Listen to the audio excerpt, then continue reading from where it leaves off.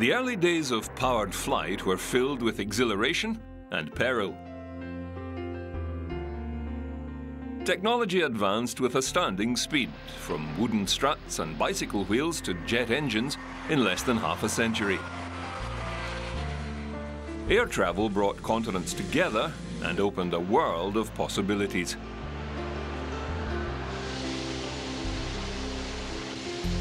The story of aviation is about the mechanics, the pilots, the inventors and the thrill seekers.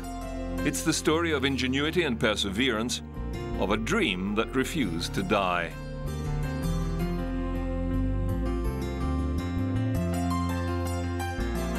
In the early days of aviation, there was no limit to the imagination of some inventors.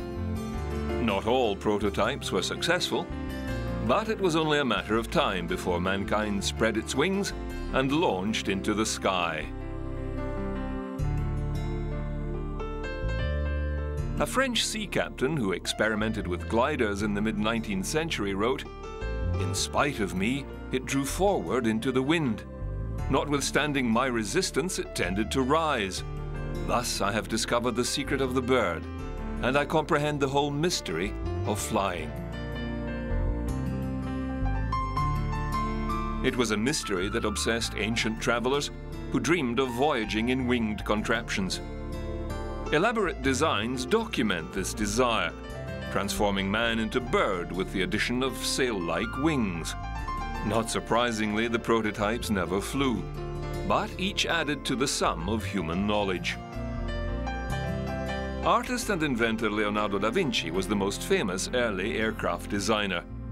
The medieval polymath drew up blueprints for many inventions in his meticulously detailed diaries, including a helicopter and a hang glider. Paper is a relatively new medium and nobody used as much paper as Leonardo, I think it's fair to say. So he is brainstorming on paper and it's an enormous fluidity of invention and reinvention and, and so on. And the, the notebooks are just extraordinary and even in later ages when paper was plentiful, nobody created sheets that look like Leonardo's. They are just extraordinary. Da Vinci was particularly fascinated with birds, producing a study in 1505 called Codex on the Flight of Birds, in which he noted that the center of gravity in a flying bird did not coincide with its center of pressure. The Codex also included several flying machine designs, but when the great inventor built them, they failed to launch. Da Vinci was a man far ahead of his time. His paper designs highlight his incredible scientific skills and ability to think in three dimensions. As well as flying machines, Da Vinci designed a giant parachute, foreshadowing a technology that was still 200 years away from becoming a reality.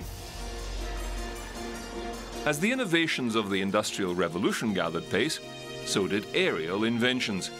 In 1783, in front of the French royal family, a balloon designed by the Montgolfier brothers made the first recorded manned flight. The English, a haughty nation, arrogate to themselves the empire of the sea. The French, a buoyant nation, make themselves masters of the air, said the future Louis XVIII. Joseph and Etienne Montgolfier were from a family of paper manufacturers, they shrewdly married solid engineering principles with beautiful design, making their balloon ascents an eye-catching experience. The Montgolfier prototype balloon was made from paper lined with alum for fireproofing and held together by 2,000 buttons. The sight of humans sailing through the air was remarkable enough to 18th century Parisians. But to add to the wonder, the Montgolfier brothers commissioned their balloon to be an artwork. The beauty of balloons drifting through the air was undeniable, but it was a dangerous pastime. In 1785, Pierre Romain and Jean-François de Rozier became the first people to die in a ballooning accident when they crashed to earth and died in a hydrogen-fueled fire. Twelve years later, Frenchman André-Jacques Garnerin became the first person to make a successful parachute descent from a balloon. His canvas umbrella contraption brought him safely to Earth from a height of 3,000 feet. Ballooning technology continued to improve, with aeronauts turning to rubber-coated silk as the material of choice.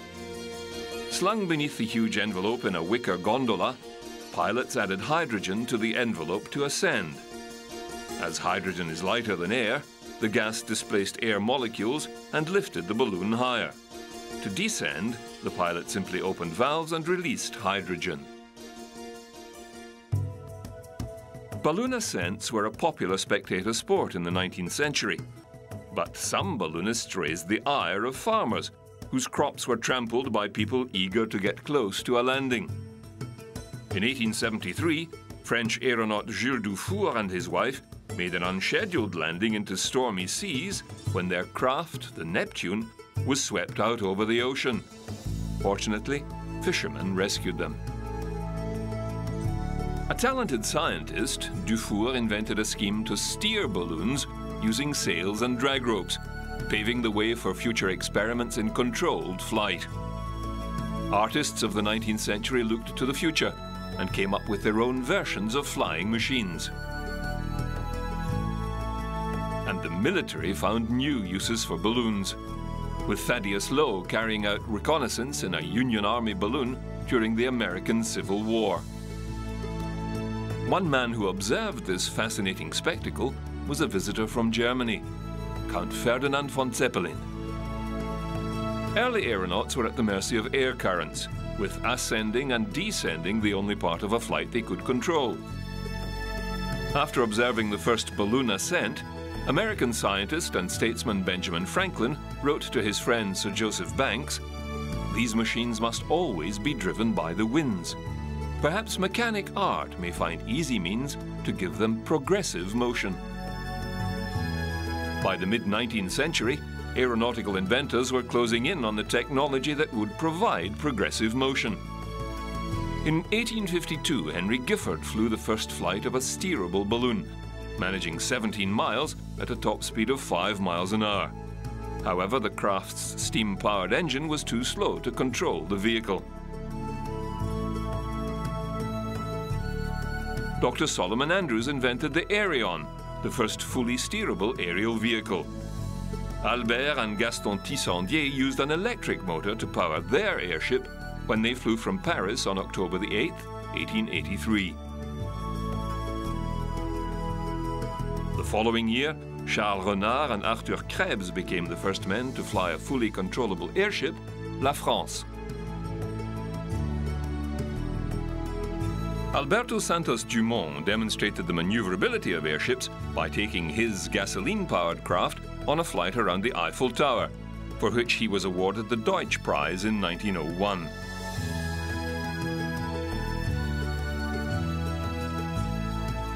German army officer Count von Zeppelin was determined to put Germany at the forefront of airship development. He used his own money to build the Luftschiff Zeppelin, or LZ 1. Powered by twin Daimler motors, it flew for 20 minutes on July 2, 1900.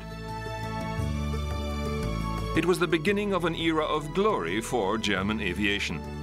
Zeppelin's inventions inspired public support, and he was able to finance future airships through donations and a lottery. But like all aviators of the era, Zeppelin struggled to keep his monster airship under control. In 1908, his Zeppelin LZ-4 was caught in a storm and crashed at Echterdingen, injuring four people. The disaster virtually bankrupted the Count, but with public support he persevered with his airship program and went on to greater things. Some inventors believed the secret to aerial control lay with kites. For thousands of years, people have launched kites into the wind, watching them dart and sweep through currents of air.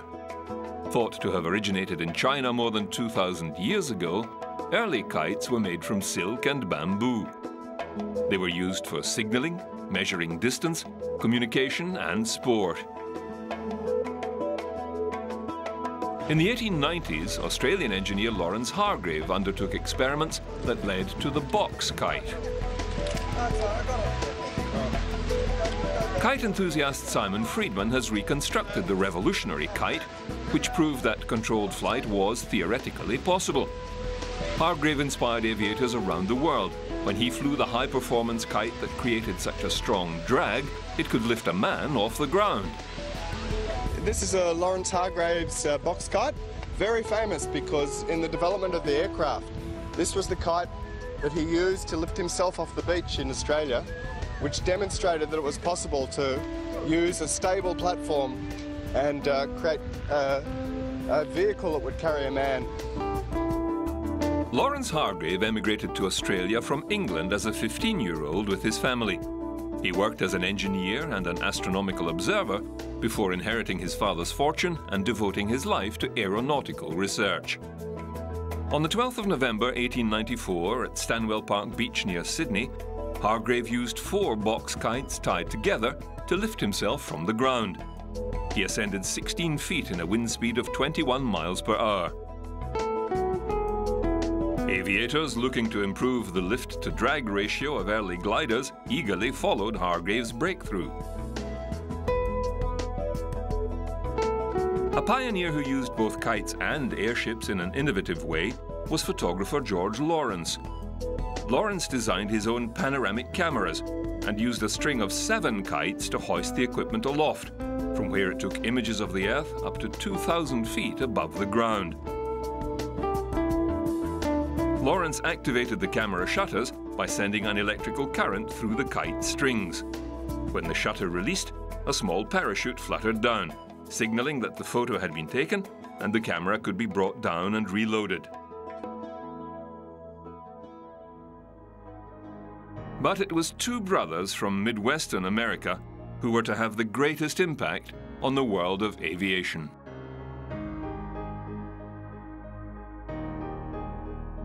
Wilbur and Orville Wright grew up in Dayton, Ohio towards the end of the 19th century. Orville was the more mechanically minded of the two, while Wilbur loved the intellectual stimulation of study. Their mother Susan taught Orville and Wilbur how to make their own inventions. Aged 8 and 12, the boys were given a toy helicopter powered with a rubber band. The toy broke, so they built their own. There were five children in the family, but Orville and Wilbur were particularly close. Wilbur later wrote, From the time we were little children, my brother Orville and myself lived together, played together, worked together, and in fact thought together. We usually owned all of our toys in common, talked over our thoughts and aspirations, so that nearly everything that was done in our lives has been the result of conversations, suggestions, and discussions between us.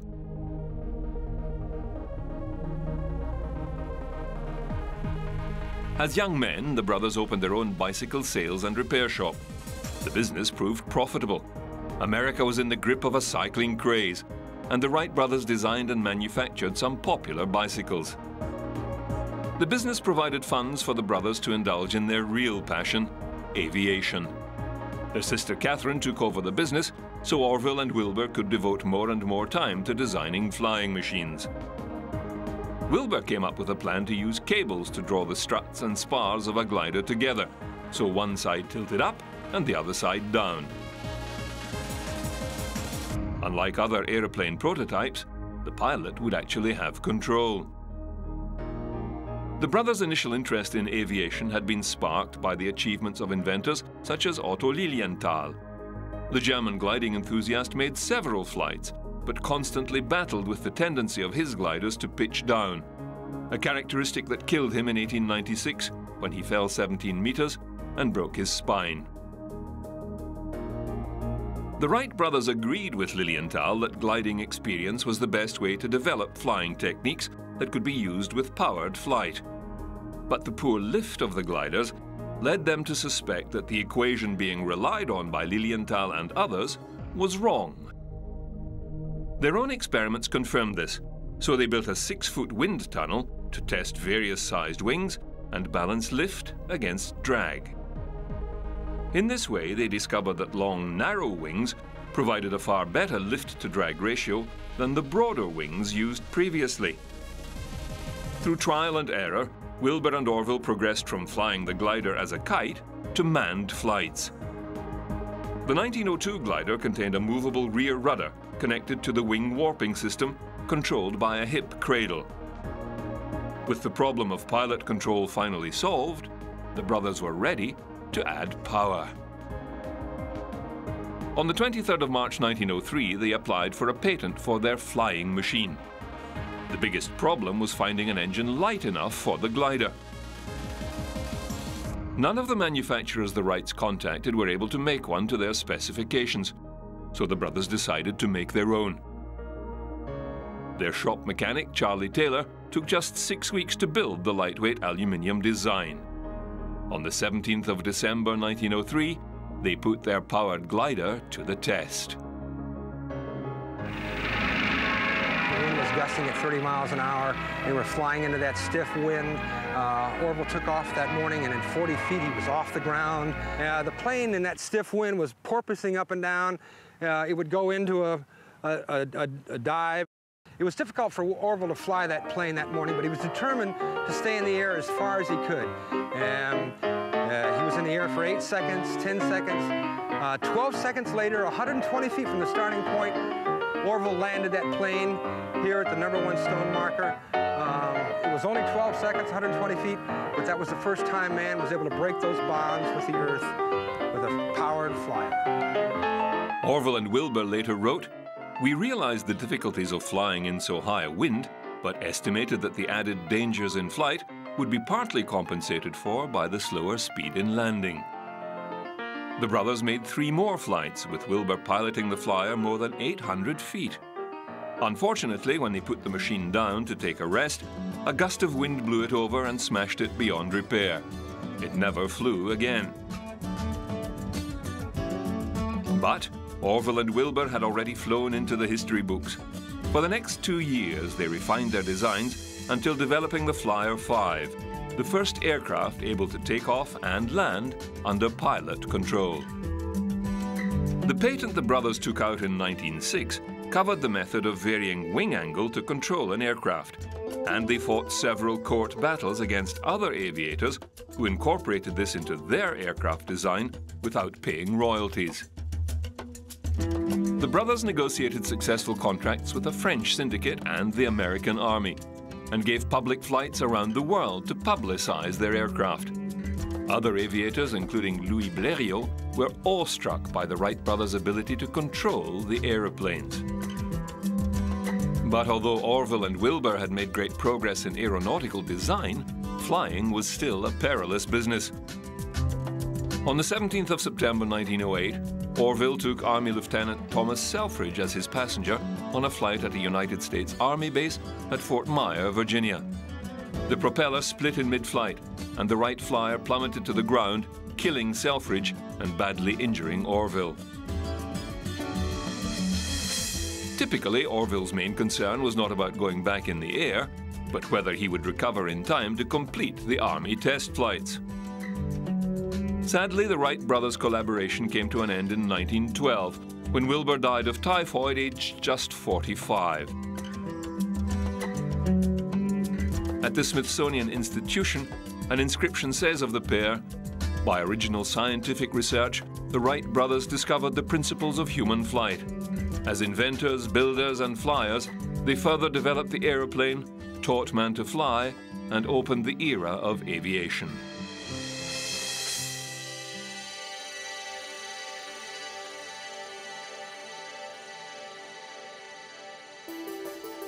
Well north of Kill Devil Hill, on the remote banks of the Lake of Gold in Nova Scotia, Scottish-born inventor Alexander Bell was carrying out his own aeronautical experiments at his Canadian estate.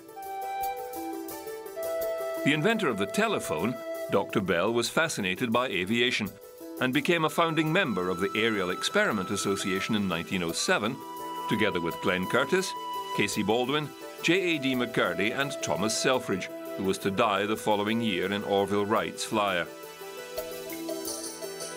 In 1908, the association launched Red Wing, its first heavier-than-air machine, with Casey Baldwin at the controls. It crashed on the first flight, and they moved on to White Wing, and then Junebug, which Curtiss successfully flew a distance of 5,090 feet. On the 23rd of February 1909, McCurdy took off from the frozen lake to pilot the association's most ambitious craft, Silver Dart, on the first powered aircraft flight in Canadian history. Like the Junebug, the Silver Dart's V8 engine was designed by Curtiss. But the lightweight design attracted the ire of the Wright brothers, who sued him for infringing their patent.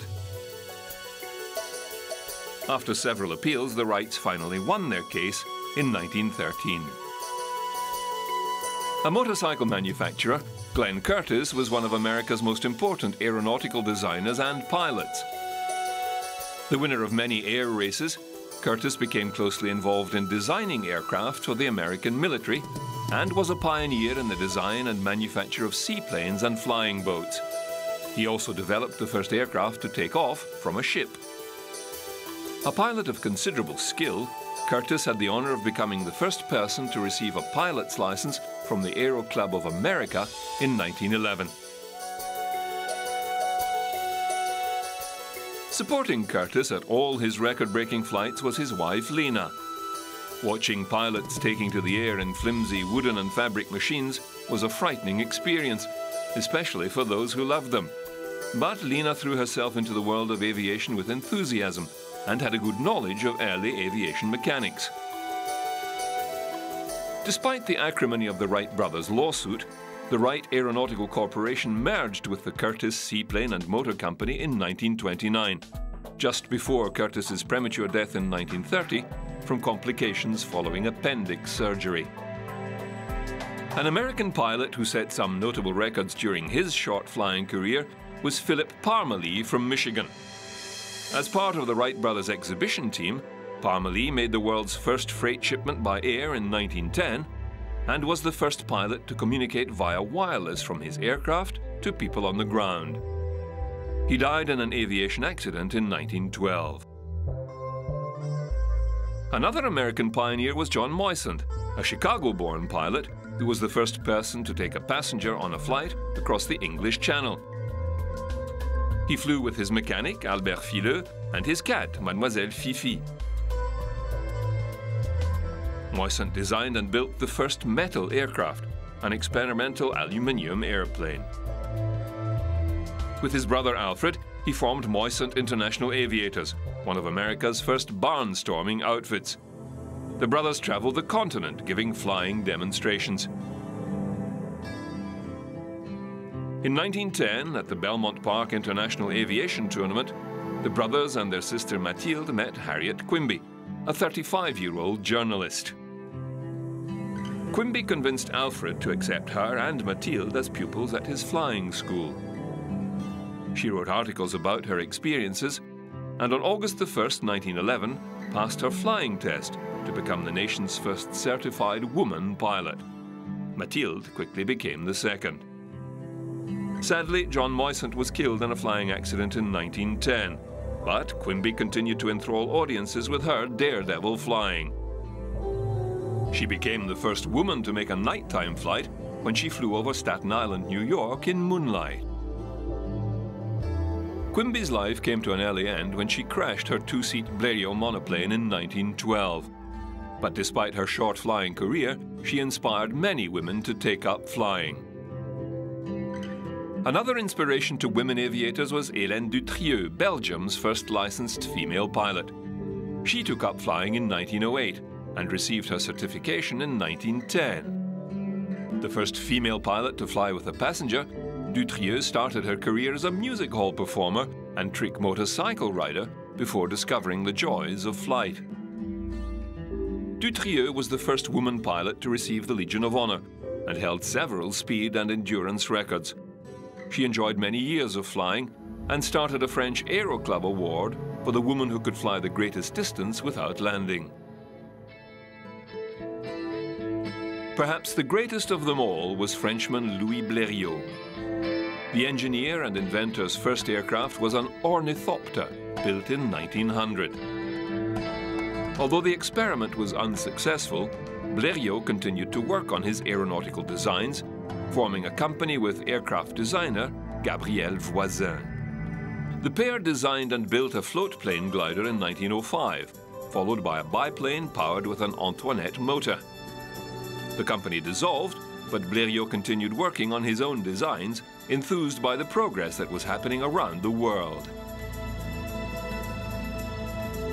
His goal was the holy grail of aviators, a successful flight across the English Channel. Lord Northcliffe, owner of the Daily Mail newspaper, was offering a £1,000 prize to the first pilot to make the crossing. On July the 25th, 1909, travelling at 40 miles per hour at an average altitude of 250 feet, Blériot flew from Calais to Dover in 36 minutes. Temporarily losing his bearings in the foaming sea, he was relieved to see the white cliffs of Dover a few minutes later, and standing at the top, his compatriot Charles Fontaine waving the French flag.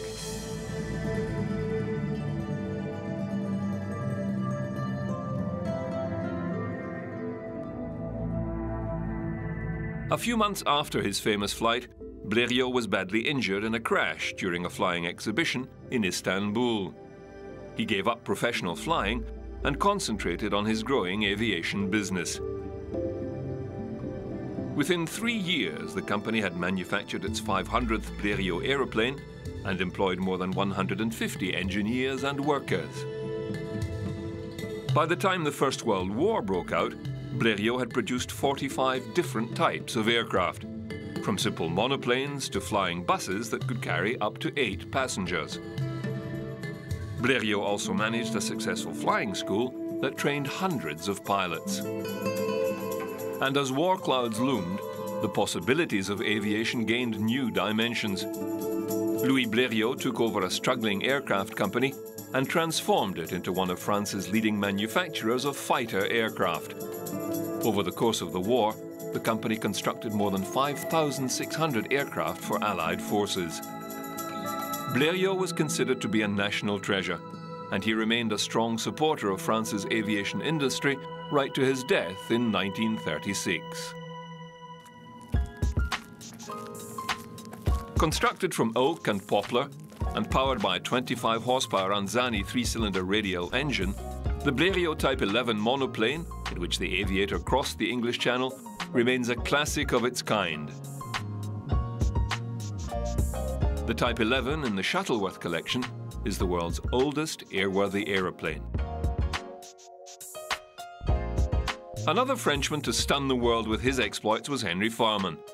Born in Paris, the son of English parents, Farman was a keen cyclist before discovering the thrill of motor racing at the end of the 19th century. A serious accident curtailed Farman's racing career, so he took up flying and was soon breaking distance and altitude records. His intrepid wife often accompanied him on his flights, and the couple were fortunate to escape death in 1913 when their machine plunged to the ground from 100 feet. Farman designed and built aircraft were flown by pioneering aviators at air meets such as Reims, where Farman smashed the distance record to net himself the 50,000 franc prize. French aviation was soaring, with the brothers Voisin among the talented aeronautical designers to contribute revolutionary machines to the industry. Gabriel and his brother Charles created a popular, if difficult to control, biplane that was flown by several early pioneers. Among them, celebrated Hungarian-American magician Harry Houdini. Famous for his daring underwater escapes, Houdini bought a $5,000 Voisin biplane in 1909 and learned to fly. He delighted in being one of the first to master the new pastime. The magic of flight, he later wrote, was in the glorious thrill of first adventure, and not in minor modification, which is perpetual in any art. Houdini's reputation as an escapologist stemmed from his ability to escape from handcuffs in any situation. He caused a stir in 1906 when he successfully broke out of the cell in Washington, D.C. that had once housed Charles Guiteau, President Garfield's assassin. The magician was also keen to alert audiences to fraudulent spiritualists, exposing many charlatans who promised to connect people to their dead loved ones for a fee. Ever the showman, Houdini dismantled his voisin and packed it in a crate for the long voyage to Australia in 1910, where he used it to market his performances. At the request of the Aerial League of Australia, Houdini took the biplane to Plumpton's Field at Diggers Rest near Melbourne. After a few days of bad weather, he was finally able to launch on the 18th of March and become the first person to make a controlled, powered flight in Australia. Houdini made three successful flights, reaching an altitude of 100 feet and traveling more than two miles.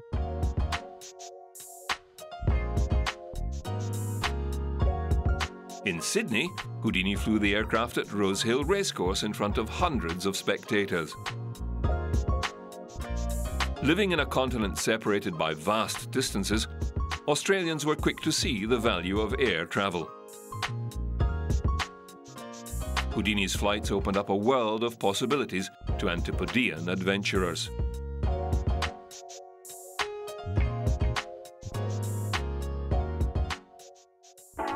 The ocean in the United States, Earl Ovington was soon to demonstrate the commercial potential of aviation. On September the 23rd, 1911, he flew a load of 640 letters and 1,280 postcards in his Blériot Queen, America's first airmail.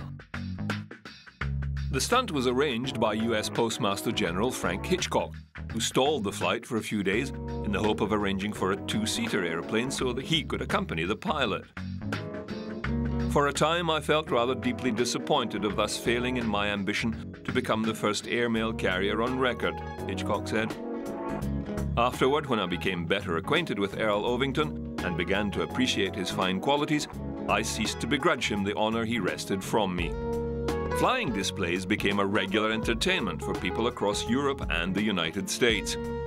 Briton Grahame-White invested the fortune he earned from flying competitions into an airfield at Hendon, near London, which became Britain's first aerodrome. In 1912, the first aerial derby pitted pilots against each other in a race around London, but aerial displays were always highly risky, with flamboyant airman Samuel Cody, one of many who lost their lives showcasing the brave new world of aviation. Cody was flying his own design, a float plane, when it broke up at 500 feet, killing both himself and his passenger. But even the obvious dangers of flying were not enough to deter people from wanting to take to the skies themselves. Among them, former President Teddy Roosevelt, who was taken for a joyride in a Wright Flyer in 1910, becoming the first American leader to fly in an aircraft. His pilot was Arch Hoxsey, one of the Wright team's aviators. Theodore Roosevelt, in a precarious perch beside the pilot, became the first president to fly. The old Rough Rider's enthusiastic reaction converted many skeptics to aviation. The result of so many flying displays was an explosion in the number of people wanting to learn how to fly.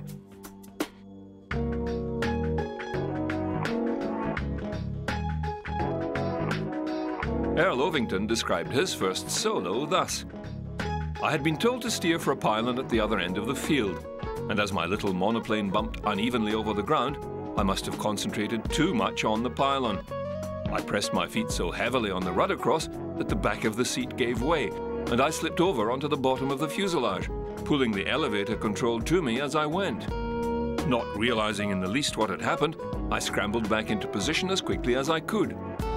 Instead of being on the ground as I supposed, I was 300 feet in the air and still rising. Between wiggling the rudder with my feet, working the wings to keep the horizon where it belonged, and pushing and pulling the elevator to stop the Earth from jumping up and down, I had a busy 60 seconds.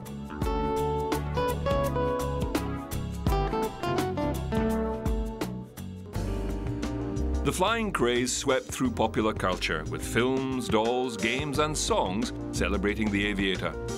Pilots like Houdini, who appealed to a mass audience, were fiercely sought after by the emerging newsreel industry, always on the lookout for personalities who worked on camera. One of these was glamour girl Katherine Stinson. The fourth woman in America to obtain her pilot's license, Stinson's girlish appearance fascinated audiences around the world. And she became known as the Flying Schoolgirl. But behind the curls was one of the best pilots of the era.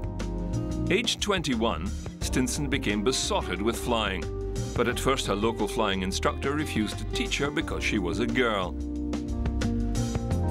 She convinced him to take her for a trial flight, and after just four hours of instruction flew her first solo. Katherine and her sister Marjorie qualified as flying instructors, and Katherine became the first woman to perform a loop, managing this perilous trick more than 500 times without incident. She was the first woman to fly in both China and Japan, and the first to be certified as an airmail carrier. In 1918, Stinson flew mail to Edmonton, Canada, where she became the first pilot to deliver mail by air in Western Canada, also setting a Canadian distance and endurance record.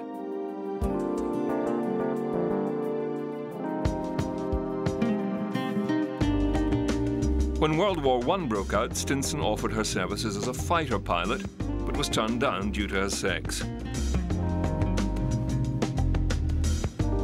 Instead, she flew a Curtiss JN-4D Jenny, of a sort soon to become famous as the Barnstormers aeroplane of choice, and a Curtiss Stinson Specia, a single-seat version of the Jenny, to raise money for the Red Cross.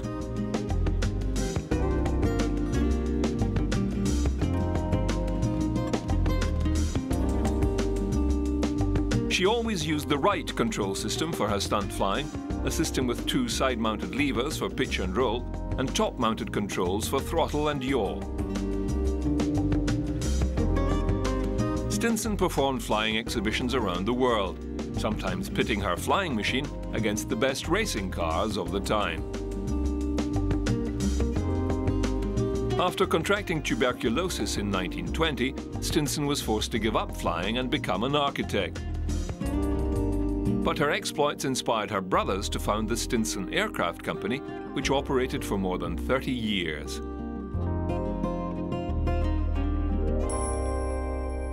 When the world went to war in 1914, few traditional military men saw the potential of flying machines. But one who did was Italian officer Giulio Douhet. A new weapon has come forth, he said. The sky has become the new battlefield. It wasn't long before rapid strides in aviation technology were proving him right. The previous century, Thaddeus Lowe's balloon had provided reconnaissance information for the Union forces during the Civil War. Now, a new breed of aircraft was taking to the skies, loaded with deadly weapons. Still just flimsy scraps of wood and fabric, the first generation of fighter airplanes were nevertheless fast and maneuverable. But their effectiveness depended on a new breed, the fighter pilot. Keen eyesight, stamina and fast reflexes were essential, and even those traits would not necessarily be enough to save the pilot from a fiery death. In the Allied camp, the Sopwith Camel was credited with destroying 1,294 enemy aircraft. Its creator, Thomas Sopwith, was an English aviation pioneer who took up flying after seeing Moisant's famous Channel crossing. He set up the Sopwith Aviation Company in 1912, and the following year designed a tractor biplane that reached a record height of 13,000 feet. Sopwith's company produced a number of fighter aircraft during the war, which greatly contributed to Britain's air supremacy. After the war, Sopwith joined with Harry Hawker to form the H.G. Hawker Engineering Company. The Great War spurred on aeronautical development and fueled a boom in airplane manufacture. Aviation developed in parallel. Civilian and military were almost indistinguishable until the last 20 or 30 years. The end of the war saw a huge drop in aircraft production in the United States, with the annual figure falling from 14,000 in 1918 to 263 in 1922. The American people wanted to forget everything relating to war and more than 100,000 combat pilots were demobilized. Other countries were more gradual in phasing out their military expenditure. The French government continued to commission aircraft and used the surplus to subsidize the new field of commercial aviation. Civil flying resumed in 1919, and passenger services were established for short routes within Europe and America, usually made up of ex-military aeroplanes flown by ex-military pilots conditions were far from luxurious, and one carrier, Aircraft Transport and Travel, issued passengers with thick coats, helmets, goggles and gloves, and sometimes hot water bottles. Times were hard for aviators, but some visionaries pushed on, determined to carve out a role for aircraft in the civilian world. Aeroplanes continued to attract the attention of the rich and famous. In 1919, Edward, Prince of Wales, was taken for a flight in an RAF Handley Page bomber. When it first flew in 1916, the Handley Page was the biggest aircraft in the British Air Fleet.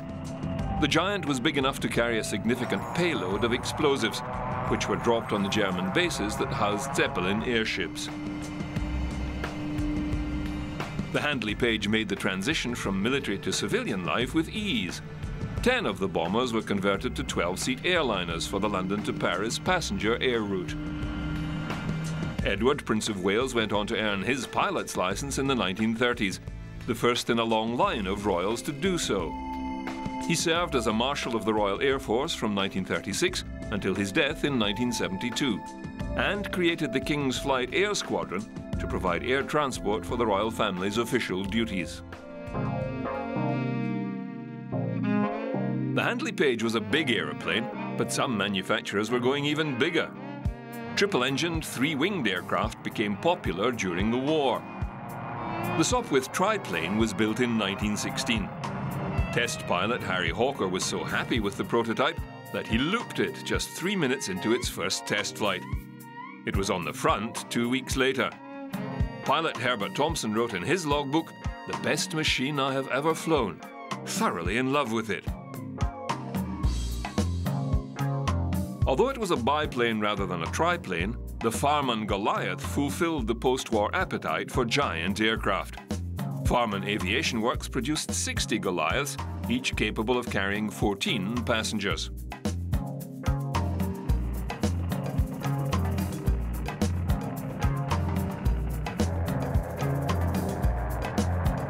The Tarrant Super triplane was manufactured at the Royal Aircraft Factory at Farnborough amid much fanfare. The six-engined monster was constructed solely of wood and was briefly the world's largest aircraft. Tragically, the triplane pitched forward just moments into its maiden flight and crashed nose first, killing both test pilots. Later investigations revealed that the triplane was unflyable as its upper engines were positioned too far above the fuselage, forcing the nose down. Aircraft designers still had much to learn. The post-war period was a time of experimentation. Air shows were a popular venue for showing off the results. The Paris Air Show resumed in 1919, showcasing the best the world of aviation had to offer. Aircraft manufacturers offered small monoplanes as limousine services or powerful biplanes built for long-distance travel. A New York Times correspondent visiting the 1919 Paris Air Show noticed the preponderance of pleasure craft. The note of luxury runs all through the show, he wrote, from the little 200-pound Marquet to the giant liners of the air, with accommodations for 20, 25 and 30 passengers.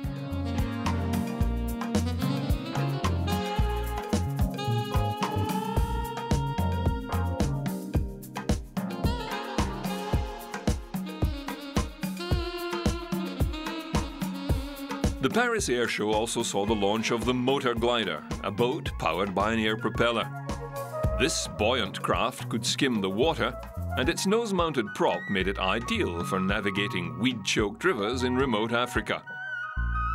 Large models were capable of ferrying up to 30 passengers at a time.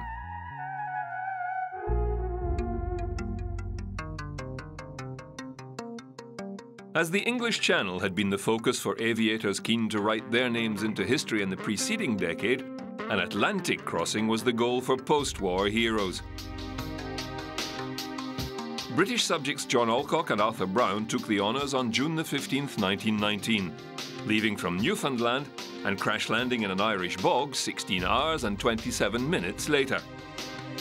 Although their Vickers Vimy IV was badly damaged, pilot Alcock and navigator Brown were unhurt. They transmitted news of their feat via Guglielmo Marconi's transatlantic wireless station, winning a £10,000 prize from the Daily Mail newspaper for their efforts. Although the crew of a Curtiss NC-4 naval flying boat had made the first Atlantic crossing two weeks previously, the earlier flight was not non-stop and took longer than the 72 hours specified by the Daily Mail competition. Former RAF pilots, Alcock and Brown had both survived being shot down in combat. The Atlantic crossing required steel nerves and skillful piloting, as the pair encountered engine trouble, snow and ice, and lost the propeller that powered their radio. Greeted as heroes in Britain, the men were knighted by King George V. Sadly, John Alcock was killed in a flying accident just seven months later. Crossing the Atlantic opened up a whole new world for passenger aircraft. Three weeks after Alcock and Brown's epic flight, airship R-34 took 32 officers and men of the Royal Airship Service, a stowaway, and a cat called Wopsie across the Atlantic and back in far greater comfort than the Vickers Vimy. However, some designers were still fascinated by unconventional aircraft. Erich von Holst and Alexander Lippisch were just two of the inventors who continued to perfect the ornithopter, paving the way for future experimental aeroplanes.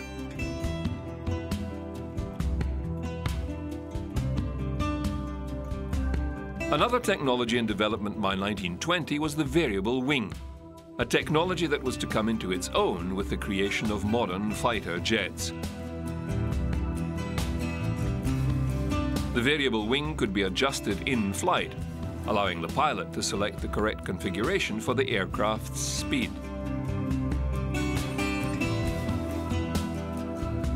Some variable wing prototypes included struts that contained shock absorbers with air pressure supplied by compressed air tanks fed by the motor.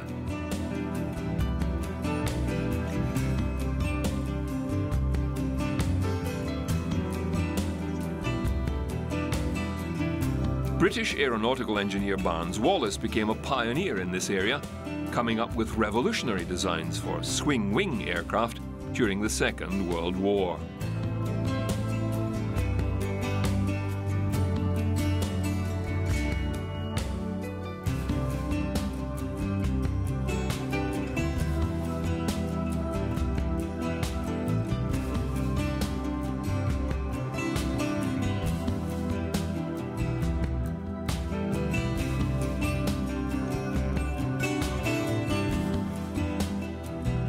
Were an important test for experimental aircraft, and the main criterion was speed.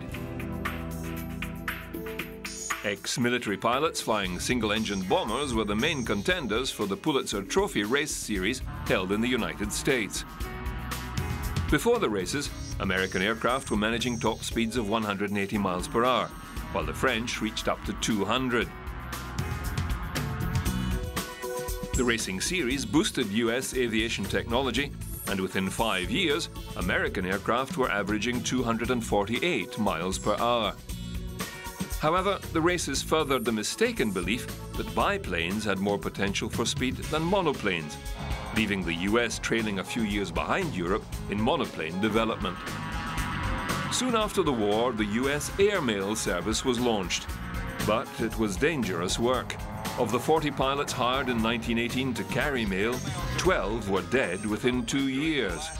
But despite inclement weather, primitive equipment and poor facilities, airmail pilots had delivered more than 49 million pieces of mail by 1920.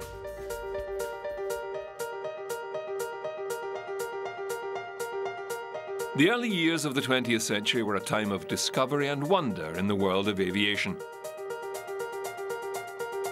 People watched in awe as pilots entered a domain previously reserved for birds.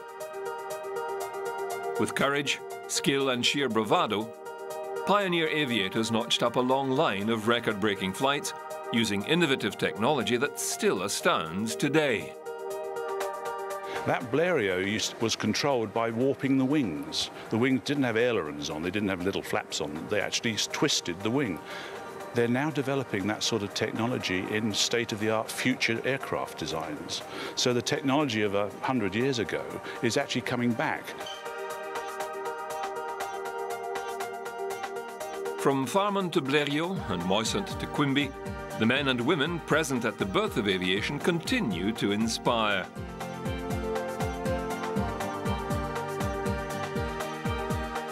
Ignoring the naysayers, they risked their lives to bring us the magic of flight.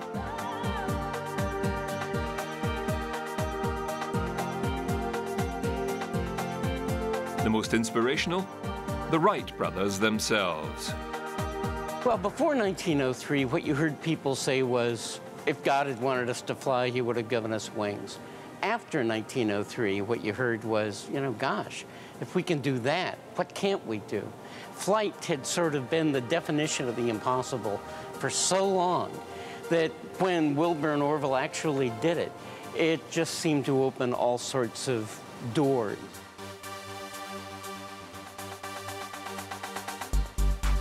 In the following decades, aviation was to transform the world as pilots like Charles Lindbergh explored new air routes and became international heroes. Commercial flying brought new business opportunities, and barnstormers thrilled with their exploits.